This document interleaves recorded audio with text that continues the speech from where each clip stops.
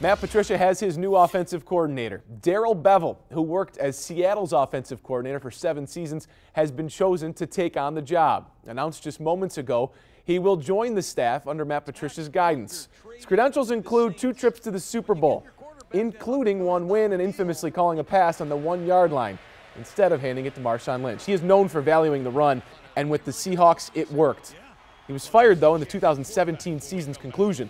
Bevell knows the NFC North. He worked as Brett Favre's QB coach in Green Bay from 2005 and then in Minnesota from 2006 to 2010. Bevell takes over for Jim Bob Cooter, who was let go at the end of the season.